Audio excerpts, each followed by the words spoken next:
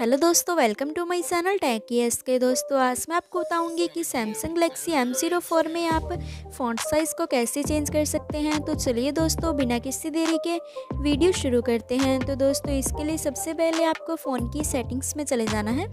Settings में जाने के बाद आपको यहाँ पर ऑप्शन मिलेगी डिस्प्ले की। आपको यहाँ पर क्लिक करना है। उसके बाद दोस्तों, आपको यहाँ पर ऑप्शन मिलेगी। आप देख सकते हैं फॉन्ट साइज़ एंड स्टाइल की आपको यहाँ पे क्लिक कर देना है। एंड देन यहाँ पे आप देख सकते हैं कि आप यहाँ से फ़ॉन्ट का साइज़ कम या ज़्यादा कर सकते हैं। अगर आपको फ़ॉन्ट का साइज़ कम करना है तो लेफ़्ट साइड की ओर जो ये बनी हुई है, आपको यहाँ पे ऐसे क्लिक करना है तो फ़ॉन्ट का साइज़ कम हो जाएगा। अगर आपको ज़्यादा करना है तो राइट साइड की ओर जो ये बनी हुई है, आपको यहाँ पर क्लिक करना है तो फ़ॉन्ट का साइज़ ज़्यादा हो जाएगा। और दोस्तों, आप सिंपली यहाँ पर भी ऐसे क्लिक करके फ़ॉन्ट का साइज़ जो है, कम या ज़्यादा कर सकते हैं।